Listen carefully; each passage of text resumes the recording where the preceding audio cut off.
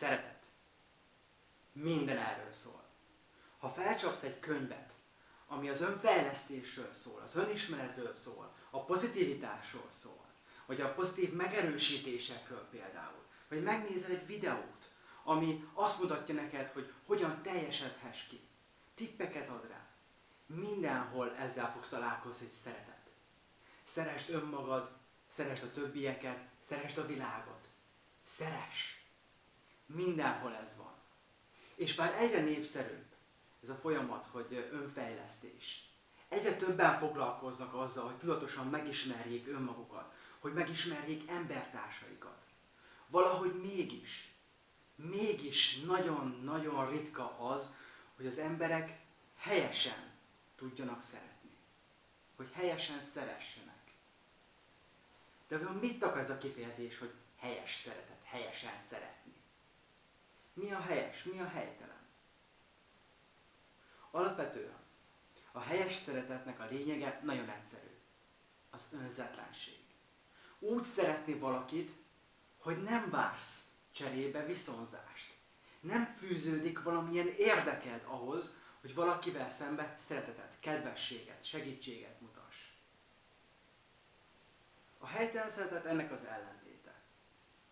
Amikor, jó, segítek neki, őt most azt mondom, hogy szeretni fogom, és akkor várok cserébe valamit, majd valahogy biztosan meg fogja nekem hálálni, majd egy jó lehetőség, esetleg egy állás, valami ajándék, bejutott valahova, stb.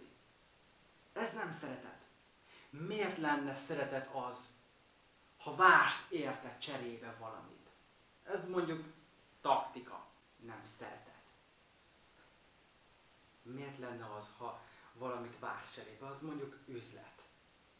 A szeretetért cserébe kapsz valami juttatást. Erről szól az üzlet.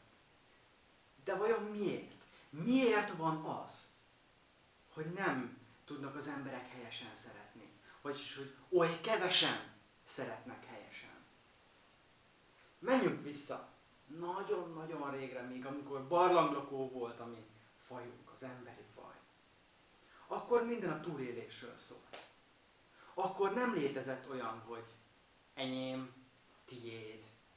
Ott miénk volt. Túl kell élnünk, fenn kell maradnunk, segítenünk kell egymást ahhoz, hogy életben maradjunk hogy a gyermekeink és a leszármazottaink mind életben maradjanak. Ahhoz össze kell fognunk, együtt kell dolgoznunk. Aztán megjelent a letelepedés, megjelent a gazdaság.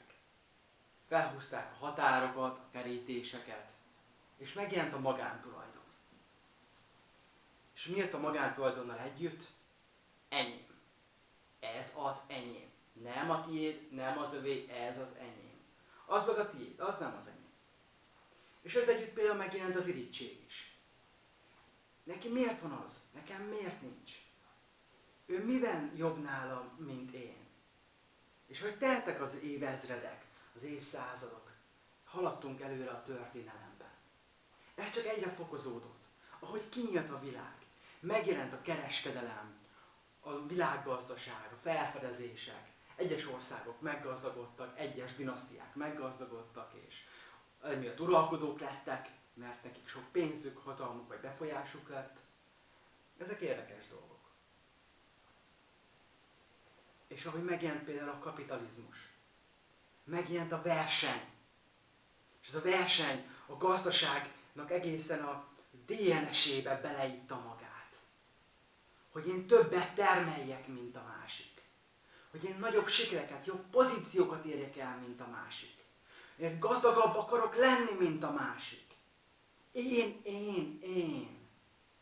Ez jelent meg a világban. Eltűnt a közösségi gondolkodás. Napjainkra ez már hatványozottan igaz, akkor minden, legtöbben már városban élünk. Én, enyém. Neked nincs között hozzá. Én sikeres akarok lenni, én sikeres leszek. És mindegy, hogy kin, min kell átgázolnom azért, hogy elérjem a céljaimat. Ez egy általános attitűd, ami megjelent az egész világon. Én, én, én az önzőség. Az önzőség világában élünk. Ahonnan eltűntek a mi gondolatai. az egység gondolatai, hogy együtt mi elérhetnénk valamit. És mivel megjelent ez a gondolkodás, és kiirtott minden közösségi értéket, minimális közösségeken belül bizonyos helyeken még megvannak ezek, de úgy a nagy általános képet nézve nem jellemző. Akár nyugatra, akár keletre, akár északra, akár délre mész, nincs. Eltűnt. Mások is vannak. A különböző törésminták, mint vallási, ideológiai alapon történő, vagy ilyen nemi elkülönülések, mert hogy ő például nem, nem a másik nemhez vonzódik, hanem a saját neméhez. És már ez is egy törésvonalat megteremt a világba. Majd erről fogok még beszélni. De most maradjunk a fő témánál. Én, enyém, önzőség. Ez az a világ, amelyben élünk. És éppen ezért, mert az emberek többsége csak saját magára tud gondolni. Nem tud helyesen szeretni. Nem képes szeretetet mutatni a másik felé. Sőt, még önmaga felé sem. Mert minden csak arról szól, hogy megszerezni, birtokolni, elérni. És nem az, hogy segítek neki azért, hogy segítsek neki. Segítek neki, mert megtehetem. Nem várok érte cserébe semmit. Miért várni? Azért segítek, mert én vagyok ott. És én képes vagyok arra, hogy neki megadjak valamit. Vagy csak, hogy a kezemet nyújtsam felé, hogy gyere, segítek. De ott van a másik oldal is. Hogyha valaki őszintén tudná segítséget nyújtani a másiknak, azt úgy furán tudják fogadni az emberek, hogy segíteni akar nekem, mit vár cserébe például. Ez is ott van háttérben. Nem tudják az emberek sokszor értelmezni azt, hogy valaki önzetlenül, mindenféle érdek nélkül csak segíteni akarja. És azt mondja, oké, okay, rendben, köszönöm. Mindenki már abban szocializálódott, hogy egyedül old meg. Meg tudod oldani, oké, okay, csináld, nincs neked szükséged senkire, semmilyen szakemberre, barátra, arra, hogy megold a problémát. Csináld! Mert ha bárkit beengedsz, azt ki fogják használni. És ha már az emberek se adni, se fogadni nem tudják a szeretetet, merre tart ez a világ? Most kérlek, nézd magadba. Mondjuk az elmúlt egy hétben, egy hónapban. Hányszor szerettél feltétel nélkül? Hányszor szerettél önzetlenül? Mindenféle érdek nélkül. És kérek, légy őszinte magadhoz. És ha szerettél legalább egyszer önzetlenül, az már jó. De ha azt tapasztalod, hogy úgy te sem tudsz szeretni, helyesen, jó az így neked? Jó érzés. Így. És mit tehetnél azért, hogy megtanulhass önzetlenül szeretni? Meg szeretnél-e tanulni önzetlenül szeretni? Próbálj gyakorolni ezt, hogy úgy segíteni valakinek. Úgy megölelni valakit. Hogy nem vársz cserébe sem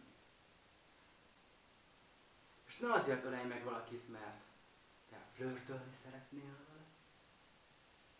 Hát csak menj oda és öleld meg. Ennyi.